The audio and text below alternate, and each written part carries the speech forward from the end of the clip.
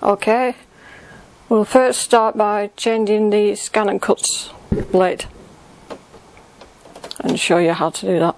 First open the machine, then look up the housing, pull the blade out,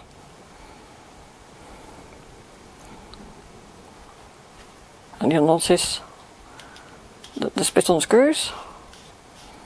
You need to do this for when you're cleaning and uh, generally changing the blade. And there you'll see your blade.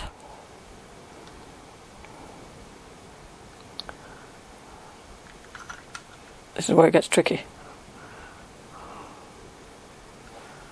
It does come out. Uh, there's a there's a there you go.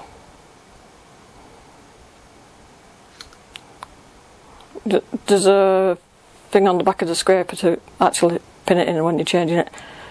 Now, a lot of problems we have with the tip of the blade, so check that thoroughly before using.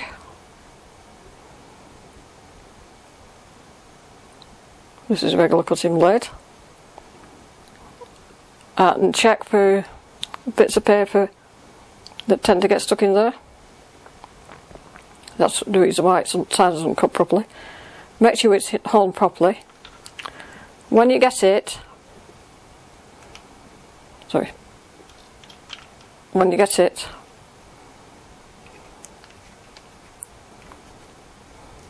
it's only just on like that. So you need to tighten it all the way down.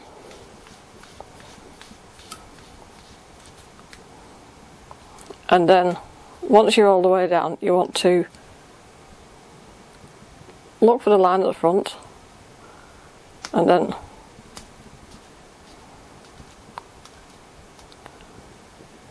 take it to where you want to set it. I'm about to be at the moment and you should just see lid popping out the top and it's not. Ha! There you go. It is on four. We have blunted it a bit. And just make sure your back, that flat bit's at the back, pop it in, make sure it's popped in all the way because sometimes you can have it like that and think it's cutting it's not. So make sure it's housed all the way down and then just push the lever down. To change this for the pen, take that blade out